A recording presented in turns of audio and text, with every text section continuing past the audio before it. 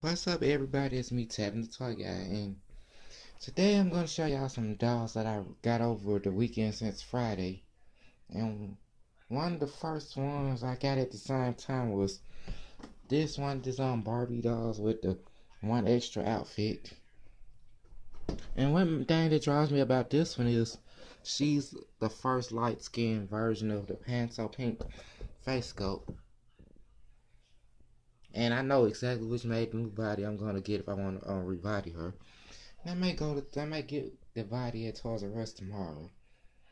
But I don't feel like I don't like buying um bodies to rebody, especially and, and if you've seen my video on Instagram, you actually notice that the made move bodies went up to sixteen ninety nine. I mean I mean the base and I mean the basic ones. The career oriented ones like the skateboarder, soccer player, and these two girls are, are still fourteen ninety nine. But I like her dress. And as for these two, I got these at Tuesday morning on both Friday and Saturday. Because I got these from two different Tuesday morning stores.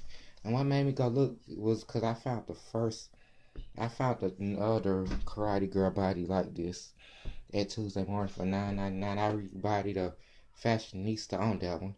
And if you follow me on Instagram, you'll notice exactly which one. But I got these two bodies because I got two Millie sculpt heads I sent to Alfonso, aka Red Hot. I'm gonna tag him in this video when I um get ready to upload it. But my favorite doll out of these dolls is one I plan on keeping it in the box because the quality of her is not the same as the original Kenya dolls from the 90s. Now I experienced that last year when I opened one I bought it Rite Aid when they was on sale. And they on sale right now for seven again for seven thousand forty nine cents to Christmas. And this is a Kenya doll and this is one of the sports theme ones that they started selling at Citi Trends this year because they have an Aerial Powers one I want to get to, but I can't. It's too much. These dolls like this take up space. Especially keep them in a box, but I don't want to open them because the quality is not the same, and I'm scared I might break them, or the hair may go bad. Her hair looks like it's pretty soft, but I hope it don't shed real bad if I decide to open her. But I'm debating on opening her, but I may do it tonight or sometime. Just see if the hair quality is different, but if it is, if it's the same, I'm not gonna brush it or anything. Hell, I might even open her after this video. But look at all these cool accessories she come with. She come with the pick one Kenya from last year came with and the little beading tool. I got additional beads in my room. The little um pom pom things.